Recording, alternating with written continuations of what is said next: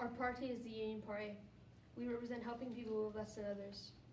For the school, we would like to help with stress, anxiety, and other mental health problems, as long as making it more accessible for bullies who are feeling like they are being bullied. To help with Aberdeen, we would like to help more mental health and tackle homelessness, as well as making the environment a little more green. For Scotland, mostly the same, we would also like to help with houses, mental ill health issues, and again, making the country more green.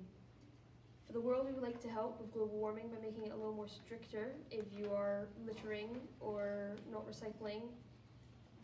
And that's why you should vote for us, the Union Party.